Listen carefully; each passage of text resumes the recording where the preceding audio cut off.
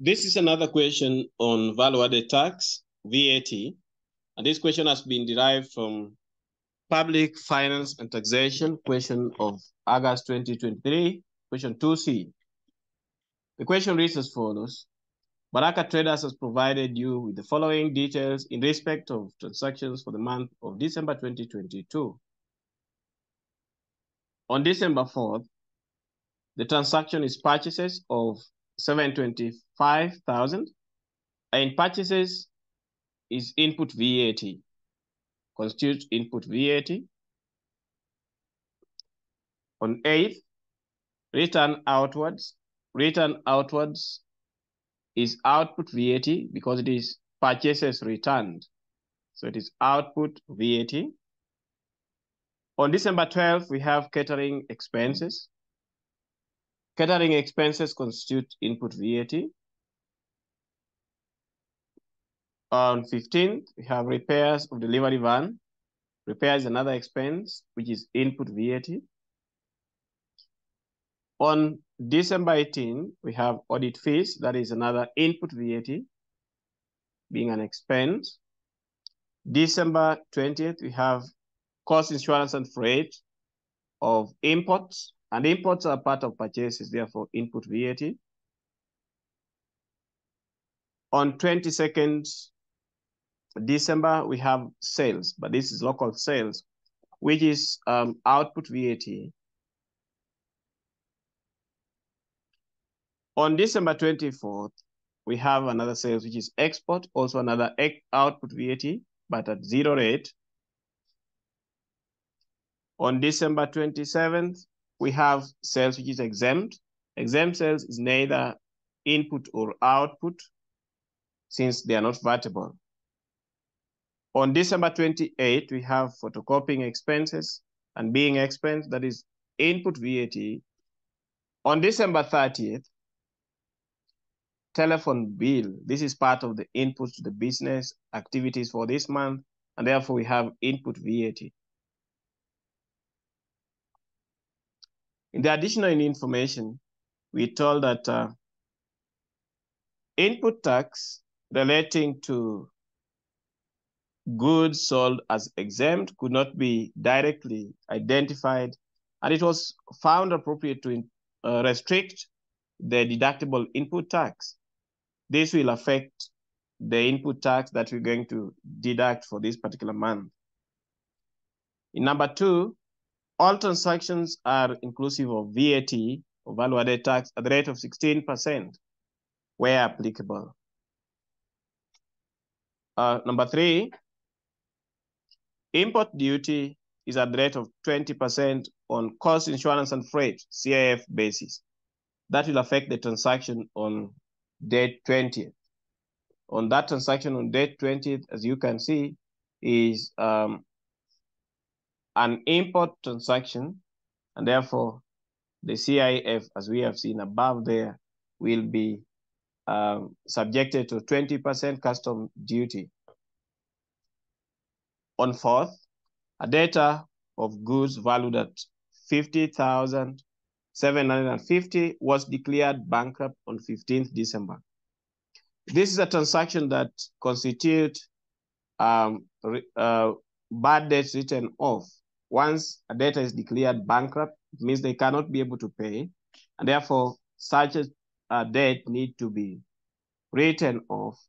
And if it is written off, that is um, input VAT. The question requires that we compute the output tax, compute the deductible input tax, determine VAT payable by or refundable to Baraka traders, then adv advise the management of Baraka traders on the penalty applicable for late filing and late payment of VAT. Now, to answer this question, as we have been asked, we need to compute the output tax separately total, compute the deductible input tax separately, and then calculate VAT payable or VAT refundable.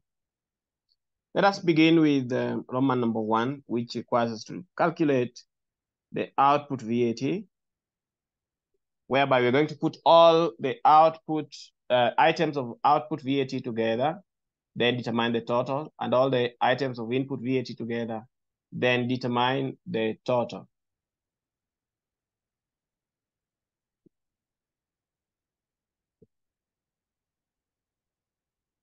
Okay. Now, we begin with the output VAT.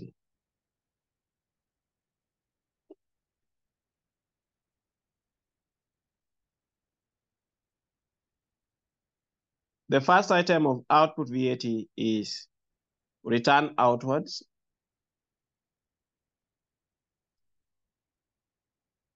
Return outwards, which is equal to 58,000 times 16 over 116. That is 8,000.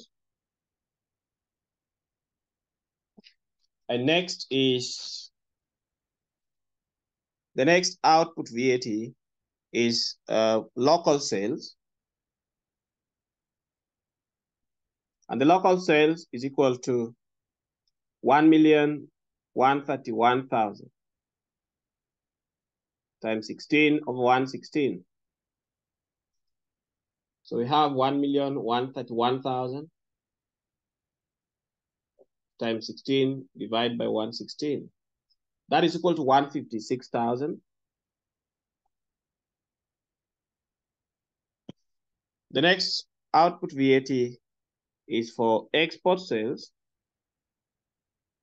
which is zero rated. So we're going to have um, an amount of 250,000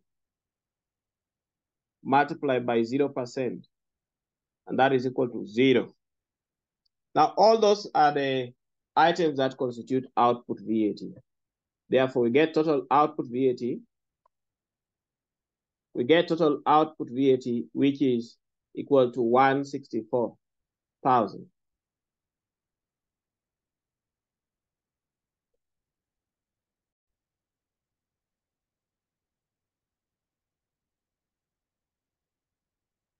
That is total output VAT.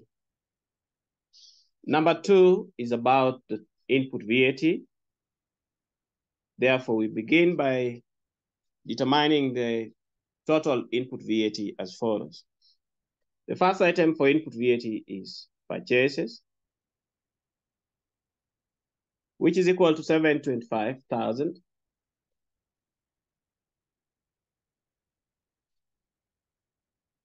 times 16 over 116.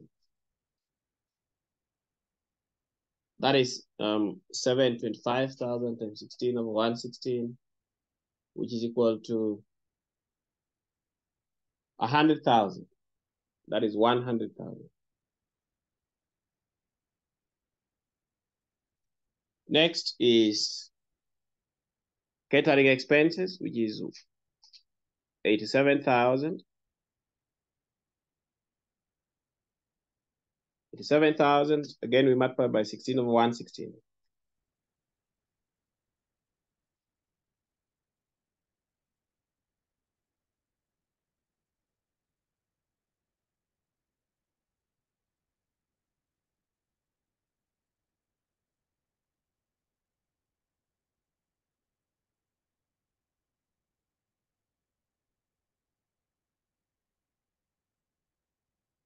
That is 12,000. The next one is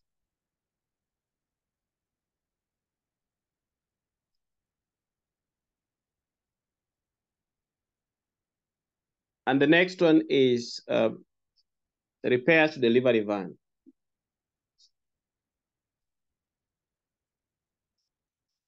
Repairs to delivery van is equal to 29,000 multiplied by 16 over 116.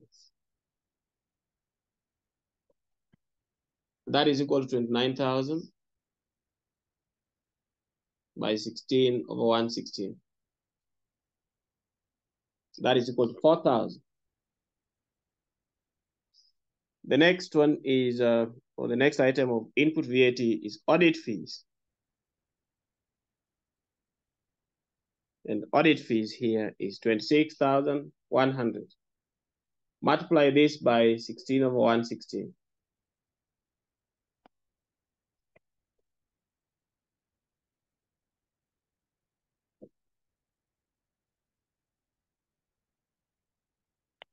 Three thousand six hundred. Um, the next item is um, in import. Import, and the import is equal to 125,000. This one is CIF, so we multiply it by 120% to determine, um, to add duty. Because where we have imported goods, then we add duty to it, or the, the value of goods which are charged VAT is CIF plus duty, or it is cost for duty plus duty. Therefore, that is going to be multiplied by 120,000, then multiplied by 16,000. Again, when the goods are imported, uh, the Kenyan VAT has not yet been added. So it is not inclusive of VAT, and therefore uh, we don't multiply by 16 over 116, but multiply by 16%. And if we calculate that, we're going to have 125,000 multiply by 120% and then multiply by 16%. That gives us 24,000.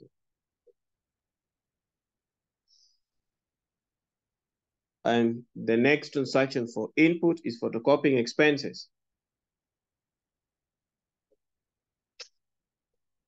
Whereby this photocopying expenses gives 11,600 by 16 divided by 116 is equal to 1,600.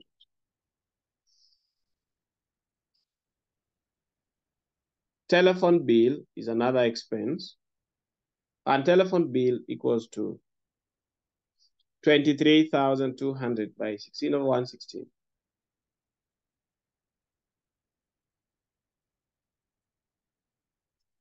23,200.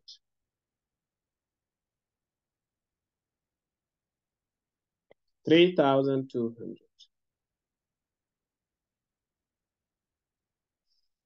Lastly, we have bad debt written off.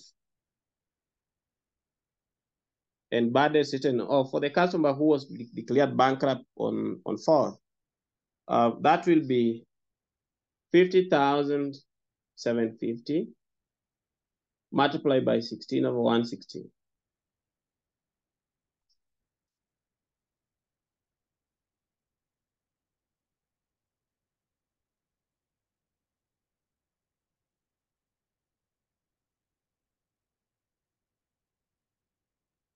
That is equal to 7,000. Right, so now we can determine the total input VAT by getting the total of all the items of input VAT that we have added here.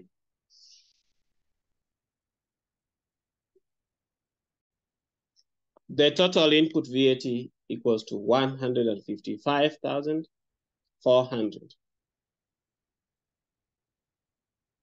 Right. But then this is not the deductible input VAT. For us to determine the deductible input VAT, we will use the formula for restricting uh, input VAT where exempt sales are involved. So deductible input VAT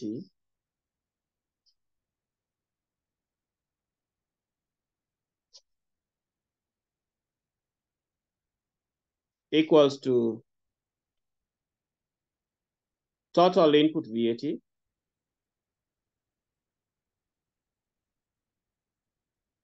multiply this by um, total input VAT multiplied by total vatable sales or total vatable supplies.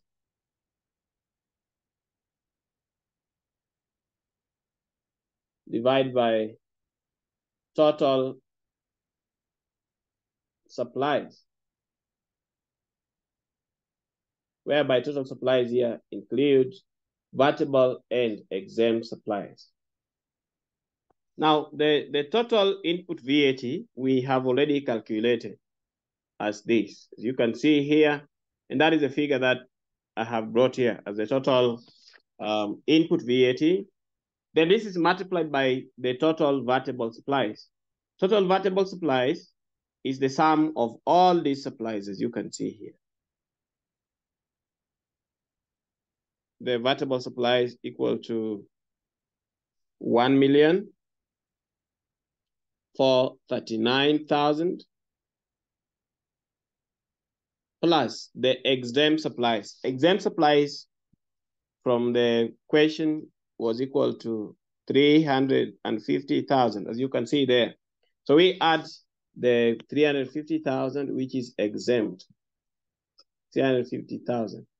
Add it to the total vatable supplies so that you get the total supplies which are vatable and also exempt at um, a total of 1,151,050. Therefore, we're going to have total input VAT as 155,400. Multiply this by 1,439,000. Divide by 1 million, 1, 1 million, uh, 551,000, 1 million, 551,050. Right, so we calculate this to determine the deductible, restricted deductible input VAT. Restricted deductible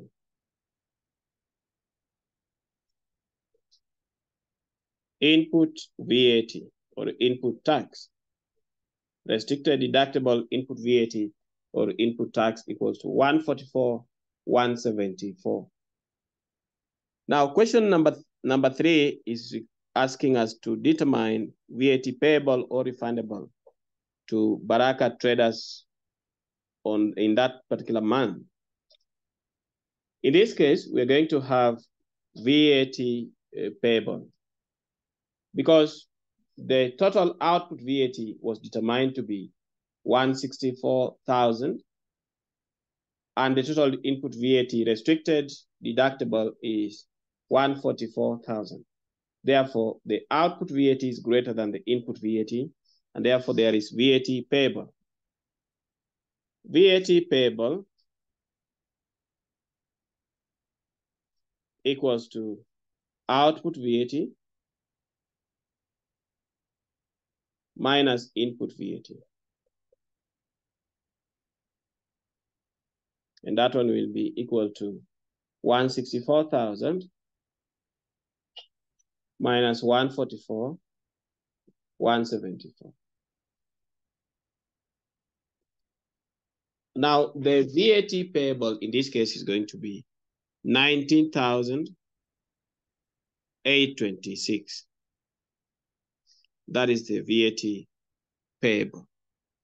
That is how to answer question number three. Let us therefore go to the last question, which is question number four. The question is asking that advise the management of Baraka traders on the penalty applicable for late filing of or, and payment of VAT. And this question will be answered as follows. We need to understand that the date for VAT return is on or before 20th of the month following the month of supplies. And in a case whereby there is late filing of VAT return, then the penalty that is charged is 10,000 or shillings or 5,000 of the tax due, and it is whichever is higher. Whichever is higher. Either 5,000 shillings, uh, 10,000 shillings or 5% of the tax due, whichever is higher. But in a case tax is not paid in time, where there is late payment of tax. For late payment, the, pen, the penalty is 5% of the tax due. And an interest of 1% will be applicable per month on the unpaid tax until the tax is settled or paid in full. That is now the answer for question number four.